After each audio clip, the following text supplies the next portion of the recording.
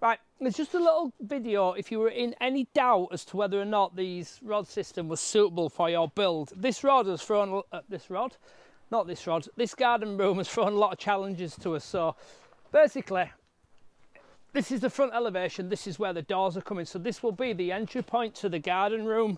So she's already got a patio down there. So this is that's the optimum height really and that being there is the closest point the highest point of land adjacent to the building. So that will be where we'll take our 2.5 from. Now the rod system is absolutely fine. It works great there although the dig was hard. Um, John dug it out. There's a lot of backfill in this ground. So we had the rods there and then we had here we had a concrete sectional garage on here. Now whoever built the concrete sectional garage has done it correct in the past. Um, you can see the height difference between the land here next doors in here is approximately 700 so what they've done they've built um, a breeze block wall and then they've, they've shuttered a pad and they've put a pad in. I don't know if jen can see there. Can you see the thickness of that pad jen it's approximately eight inches, which is near on 200 mil. Now that is sufficient to take the weight of this building, more than sufficient. And it's also got rebar in. And if you don't know what rebar in, it's just metal inside the concrete, which helps to maintain its strength and make it stronger. So what we did, we went round with a drill, we drilled a series of pilot's holes and we made sure the concrete was the same depth all the way around, which it was.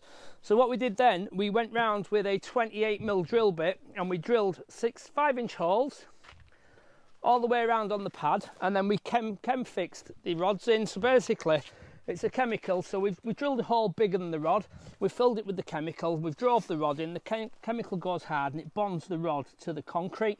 And then what we've done then, we've put the, um, let's see if you can see a better one, see this one better Jen? We've put the steel plate washer on top of the floor with the nut to stop it driving through the concrete, although at eight inches it isn't going to drive through. So the rod's got us standardly through the muck. That's that's where we use them normally. They've also worked on the concrete. Now ground screws would not have worked. Ground screw company would have sacked this job off and says it wasn't suitable. So the rods worked in the concrete pad. Um, and then we had this issue. Somebody in the past has landscaped this lady's garden and while she's been away they've put all the rubbish under the decking that they've put. So Obviously, when we took the decking up, we then realised there was a massive cavity here. If Jen jumps across to that side, jump across to that side, Jen. So, this cavity was filled with flags and rubble and stuff like that from the garden that the landscapers decided to save himself the money of a skip and dump there.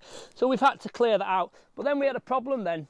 We had a massive void and we needed to use the rods. So what I did then, I ordered some longer rods. I ordered three metre rods. We cut them in half. So you can see there, there is just over a metre sticking out the ground. So that means, can you see it, Jen?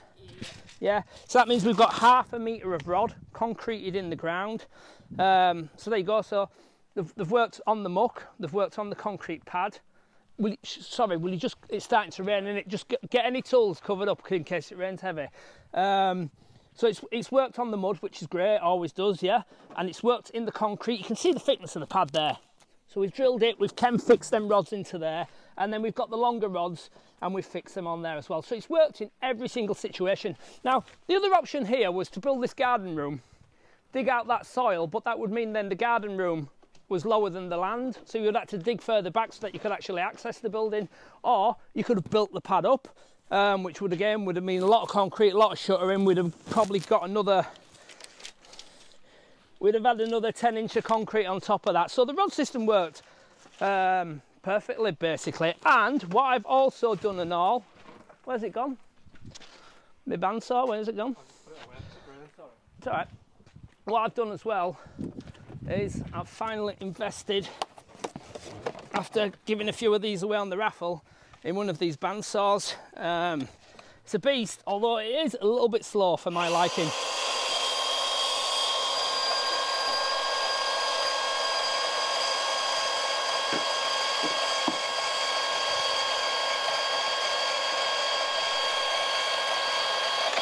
There you go. No sparks and of course health and safety themes that we should be using something like that anyway. So that's milwaukee bandsaw fantastic bit of kit. Now basically what i wanted to explain to you was that the rods work in any situation whatsoever. We have not come across a situation yet apart from the one last christmas where there was um how how how low was that one jen? It was about a metre and a half, wasn't it, the fall on the land, so we used some big pipes filled with concrete. But there you go, that's the only time we haven't been able to use the rod. So ground screws, wouldn't have done this. You could have got a pad in, but you'd want another 10 inch concrete. Um, or you could have dug that out, but you'd have had to dig further out of there and sat on this original pad. So there you go.